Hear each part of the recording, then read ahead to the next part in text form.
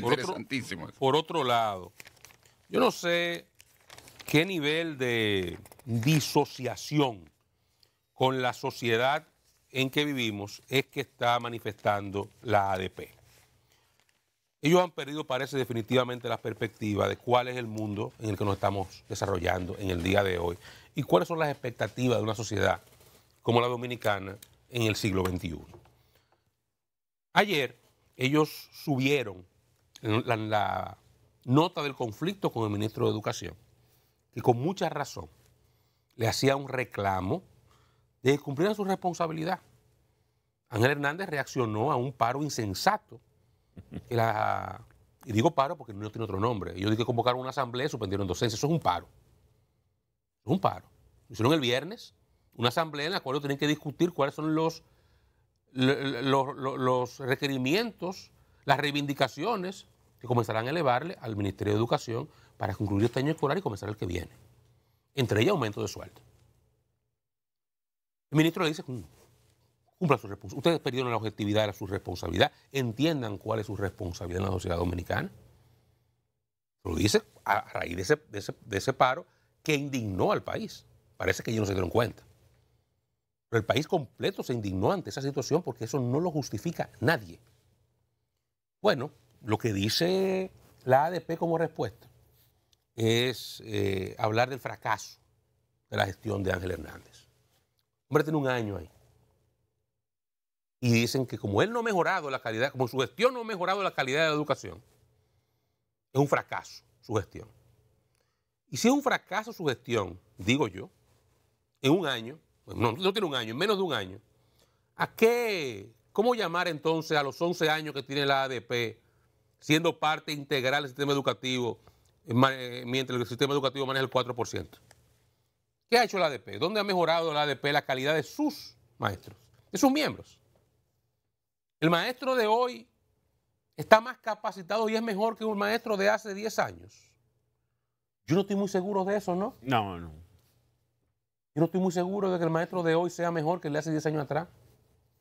De hecho, se quemaron todos en el último concurso que se hizo. Hubo que anularlo. Hubo que anularlo. Se quemaron todos.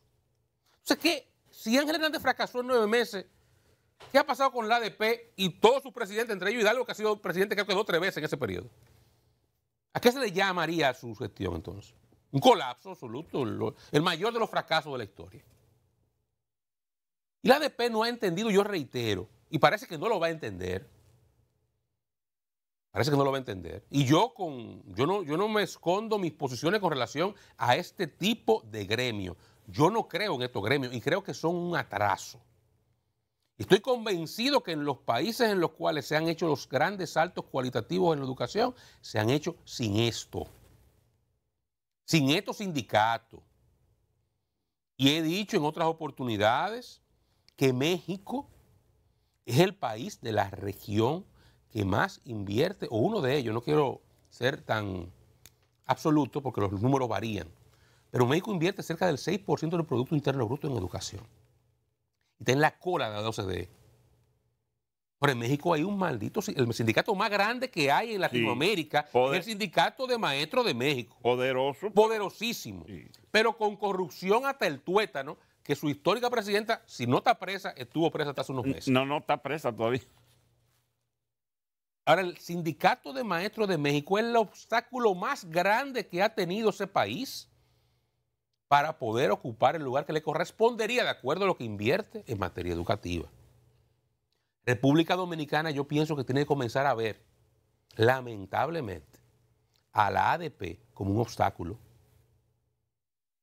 Y entender, porque, y, es lo que digo, parece que esta gente no está entendiendo su rol. No está entendiendo lo que le puede sobrevenir, porque aquí tendremos que, llegar al punto en que tendremos que decidir si apostamos a la educación o soltamos esa vaina en banda. Y volvemos a darle chele. Y hacemos hospitales y carreteras. O nos llevamos de encuentro, hacemos la continuamos haciendo la apuesta fuerte por educación, pero comenzamos a romper obstáculos. Porque yo lo que voy a decir como contribuyente, y le hablo como contribuyente, y me da mucha cuerda que por cada peso que yo pago de impuestos, 20 o 25 cheles, se van a educación para que los carajitos salgan más brutos de la escuela de lo estaban antes. Para que vayan a pelear uno con otro. Para que vayan a un desorden donde los maestros no saben ni siquiera lo que están explicando. Salgan de que salgan de ahí sin saber ni siquiera lo básico para las competencias mínimas para trabajar mañana en la vida o aportar a la sociedad dominicana. Pero además como ciudadano, olvídese el contribuyente. Me da muchísima más cuerda que a los más pobres le condenamos a eso. Sí. Porque los hijos de la clase media no tienen ese problema. De clase media para arriba van a escuelas pu- pu- eh, eh, eh, privadas y universidades buenas, pagadas por sus padres. Y la brecha, miren, generación tras generación más amplia, más amplia, más amplia. Pues parte de esa, de esa desigualdad que vivimos cosechando nace ahí. No nace después en el trabajo. En el trabajo se refleja lo que tú viniste produciendo desde el principio. Esa desigualdad del Mercedes-Benz y el motoconcho nace ahí. Y hay que combatirla. El punto original de combatirla es ese. Es igualdad de oportunidad educativa. Es que el, muchich- el muchito más pobre, hay que darle desayuno en la escuela porque en su casa no lo tiene, debe recibir un nivel de educación con calidad suficiente para poder competir mañana con el carajito que sale a desayunar con confle de su casa, un colegio bilingüe. Competir en el mercado laboral. Y para eso los contribuyentes hacemos un esfuerzo. Pero quienes están llamados a ser el principal punta de lanza, porque la principal punta de lanza, luego de la casa, luego del hogar, pero el hogar tú no lo controlas, la escuela la pagamos nosotros los contribuyentes, ¿verdad? El principal actor o actora de ahí es el maestro. Es el maestro. Es la base fundamental. Y si el maestro lo que está en esto, en huelga, en aumento de sueldo, a pesar de que son los servidores públicos mejor pagados, Mejor que los médicos. ganan más que los médicos, que tienen que pasarse 12 años estudiando. Ganan más que los médicos. Yo estoy de acuerdo que ganen todo lo que tienen que ganar, pero que devuelvan a la sociedad sus beneficios. Con algo tan elemental, algo tan elemental. Coño, vamos a la asamblea el sábado. El año, el año se está acabando. Sí. Vamos a dar la mayor cantidad de horas posible. La asamblea el sábado. Y no entienden ni siquiera eso porque no les importa. Pues si ese es el tema, si ahí hemos llegado, entonces vamos a comenzar a ver esto de otra forma. Y tenemos que tomar medidas radicales, bueno, pues se tomen. Yo no, no quiero sugerir eh, digamos, eh, atropello nada se le parezca. Si los atropello, ¿verdad? No quiero, no llegamos a los atropellos. Pero aquí Citracode se, desol- se disolvió. Sí. Cuando se entendió que Y, Citracode y ese era- fue el más poderoso en su momento. cuando se entendió que Citracode era un obstáculo para que en República Dominicana se pudiera avanzar en cualquier nivel de solución a la crisis eléctrica, bueno, pues entonces se resolvió Citracode, se disolvió Citracode. Yo no quiero que aquí tengamos que ponernos todos de acuerdo como sociedad de que los profesores se constituyen un obstáculo insalvable. No los profesores, el sindicato que les Sí, el gremio. se constituye un obstáculo insalvable para avanzar en la calidad de la educación. Porque entonces tendremos que tomar una decisión. Y yo creo que esa es la parte que no están entendiendo el gremio. Y con esto yo no, bajo ninguna circunstancia, señalo a un partido político. Porque si hay un lugar en el cual los partidos políticos están en un segundo lugar, es en el gremio, aunque la gente cree que está en primer lugar. Los profesores, aunque apuestan en las, en- en las elecciones a plancha que apoyan los partidos, cuando llegan ahí los partidos les importa un carajo, lo que les importa es su gremio y sus Sí. intereses. O sea, ahí tuviera una gente del PRM y tuvieran la misma vaina. No es porque tú no del PLD. Este Hidalgo le hizo una huelga a su- a- a- y, más lío a su, a su- a su partido que lo que le hizo a, lo, ha hecho a, a No, nosotros. y, y de hecho tuvo diferencia con el presidente. Ellos son así, así mismo es. Entonces, parecería que ni siquiera sacando la política. Es que no. Es un problema que está en, el tuétano de esta gente. Y si ese es el problema, reitero, bueno, pues lamentablemente hay que, hay que aplicar soluciones. Y parecería que no es hablando, porque con esta gente no se puede hablar. No entienden. Es un divorcio absoluto de la realidad. Absoluto. el, el profesor Eduardo Hidalgo eh, da una serie de explicaciones, ¿no? Tratando de justificarse y explicando lo que pasa en los centros educativos en el país, desde la falta de energía eléctrica, el problema con el agua, el tema de seguridad. Bueno, lo que don Eduardo Hidalgo está diciendo no es un problema de las escuelas, es un problema del país. O sea que, aunque siempre defiendo el derecho a la protesta que tienen los maestros o cualquier otro grupo social, en nuestra sociedad, también entiendo que el ADP no debe ser indolente y hundir más en la educación en nuestro país de lo que se encuentra, porque estamos amparados en el 4%, pero está demostrado que el tema al, al final o el problema principal no era tener el 4%, porque bueno, ¿qué hemos hecho desde allá y hasta aquí?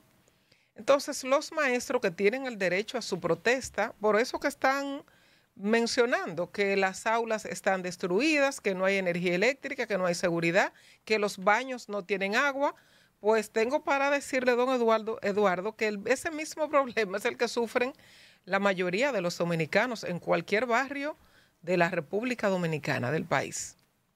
Entonces, si quieren hacer la protesta, bueno, pues como refiere Oscar, pueden hacerla un sábado, pueden hacerla un domingo, pueden tomar el horario que no es de docencia y encadenarse, pueden hacer huelga de hambre, por ejemplo, es una forma de manifestarse. Una huelga de hambre es una buena forma de manifestarse, pero no paralizando la docencia.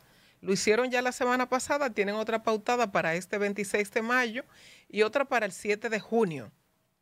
La manifestación.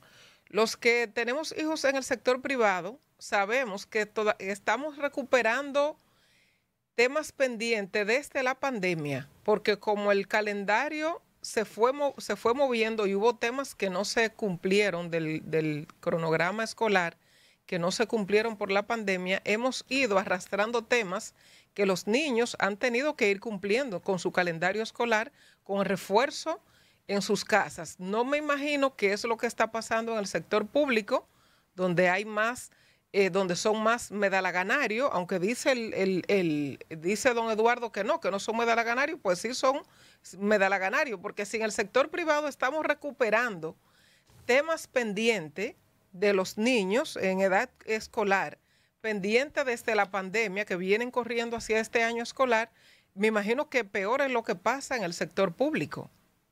Entonces, el derecho a la protesta sí es un derecho constitucional que le asiste a todos los dominicanos. Eso está bien. Yo defiendo el derecho a la protesta, pero haga, una huelga de hambre. No paralicen la docencia, que los niños ya bastante atrasados que están con su cronograma escolar, porque hay atraso. Desde la pandemia venimos con atrasos en el cronograma escolar y lo saben todos los centros educativos, lo sabe el Ministerio de Educación y lo sabe la ADP. Entonces, don Eduardo, eh, que conoce. Usted a hacer una observación, por favor, y sí, claro, claro. Una, observación muy puntual, porque usted ha insistido en algo, quiero mm, observárselo. El derecho a la protesta está consagrado en la Constitución. Ahora bien, hay fallos ya de eh, órganos como el TC, si no me equivoco, y decisiones jurisprudenciales que existen, que señalan que las huelgas que afecten servicios básicos como salud y educación son ilegales. Pueden protestar, pero no pueden afectar la educación, no pueden afectar el aula. Pueden protestar, pero no pueden afectar el servicio aunque de salud. Siempre, aunque siempre lo hacen. Pero, pero, es además una ilegalidad, o sea, lo que están haciendo es ilegal. Exacto, yo siempre, o sea, y entiendo, manifestarse sí, pero fíjense por el lado que me voy, hagan una huelga de hambre. ¿Quieren manifestarse? Y reclamarle al, al, Ministerio de Educación por, por eso, porque los baños no tienen agua, porque no hay energía en, la, en los centros educativos, porque el techo se está desprendiendo, porque no hay seguridad en los centros educativos. Bueno, se puede bien hacer una huelga de hambre de 24 horas, de 48 horas, solo ingiriendo agua. Por ejemplo, como una forma de no afectar. De que lo denuncien las redes sociales. Exactamente. Entonces, o, o, hacer el esfuerzo, o insistir, exactamente, o insistir con el Ministerio de educación para ver los temas. Porque no puede ser que sea paralizar, porque el afectado aquí no es el ministro de educación, que mañana puede venir otro. la afectación no es para el ministro ni para el presidente de la República, no, es para los que tienen que por necesidad mandar sus hijos al sector público, a, la docencia, porque no tienen para enviarlo al sector privado. Porque por eso es que esa clase media va mucho más forzada, mucho más forzada y mucho más sacrificada, porque muchos lo que hacen es, no es que tienen el dinero o que les sobra para tener sus hijos en un colegio, cobrando bastante, que todos los años suben, suben, suben el, la cuota, dicho sea de paso, que se eliminó el tema de la inscripción, pero eso tiene ahora otro nombre. Le pusieron otro nombre y como quiera se sigue cobrando, no pasa nada. Pero entonces esos padres, esas familias que llevan sus hijos, deberíamos tener un sector público de educativo de calidad, porque de hecho ahí no queríamos el presupuesto, ahí lo tenemos. Pero al final no es un tema económico. Al final no es el problema, el, dinero no es lo que va a resolver nuestro déficit eh, y, todo el tema que tenemos pendiente en el sector educativo no lo va a resolver el presupuesto del 4%. Cuando tenemos un grupo eh, de este sindicato, de la ADP, con los pensamientos que todavía tiene, dice don Eduardo que no es cierto, que, lo, que los maestros son los que mejor ganan en el país. Dice él que, que el grupo de los maestros no son los que mejor ganan. Yo insisto en el que la paralización de la docencia no es la vía correcta para manifestarse. Hay otras formas para poder cumplir con ese cronograma, con el déficit, con las lagunas que vienen arrastrando nuestros hijos que están en el sector público, porque no tienen forma, porque no hay dinero para llevarlo al sector privado. No pueden. Ojalá y la ADP recapacite, ojalá y puedan ser convocados y haya, eh, puedan reunirse nueva vez con el ministro de Educación. Ojalá y haya una disposición de conversar, de buscarle solución a los temas que no sea paralizando la docencia, porque al final la afectación no es para el ministro, ni para el ministerio, ni para el gobierno central, son para todas las familias que tienen sus hijos en el sector en el sector público. Mira, Oscar, me hace una observación. Me escribe hace un momentito el senador eh, Félix Bautista, me dice que había presentado, que, que, presentó, a propósito del tema de las cooperativas, que presentó un, un, proyecto de ley desde 2015 para regular las cooperativas en el país, que se han reunido, no se ha conocido todavía en el fondo, pero está pendiente de, de conocerse para crear una superintendencia eh, para las cooperativas, ya que la superintendencia de bancos no puede, no, no tiene rango de acción para regularlas. Hay un proyecto de ley presentado por el senador Félix Bautista, está en el Senado para crear la, la Supercop. Eh, y me, me refiere que las cooperativas tienen 250 mil millones de pesos en sus tienen activos pero no recuerdo, puede ser muchísimo más, pero puede ser muchísimo más de ahí sí 250 mil millones de pesos tienen activos las cooperativas eh, algunas son un poco renuentes a algunos de los puntos del proyecto de ley otras están de acuerdo pero bueno sería buscar una sería buscar una, una, una vía, ¿no? Para, para que puedan tener una regulación las cooperativas y para que exista la superintendencia para las Ese proyecto que dice Félix muy correctamente que presentó, es verdad, y, hay discusiones que se han dado al más alto nivel, pero hay resistencia. Me, me apunta un televidente, que no, no, tengo el placer de conocer, pero que nos está dando seguimiento, que eh, es una ley, dice que DECOP regula eficientemente, posiblemente dentro de su marco regulatorio sea eficiente, mm. lo que le permite la ley, yo no discuto eso, ¿verdad? que la ley no le permite tantas cosas, es regular sus operaciones, porque es que ya hay mucho dinero ahí. Mucho dinero, ya la economía sufriría un problema serio si alguna de esas cooperativas realmente no, no, puede responder por sus compromisos, porque es mucho dinero. Eh, para concluir el tema de los profesores, algo que, que, Johanna, un, un apunte.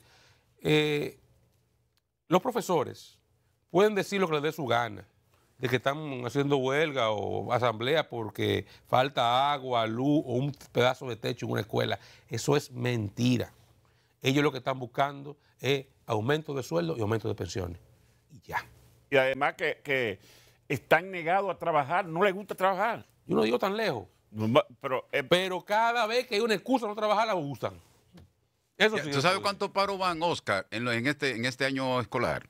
Cerca de 45 paros de por parte de la Asociación Dominicana de Profesores ADP en lo que ya se está terminando el año, ¿verdad? Que son Sí, escolar. Era, era tres meses y medio y era- tres meses y medio, 45. Era Melanio Paredes, ministro o secretario de Educación, no recuerdo qué, qué era en ese entonces.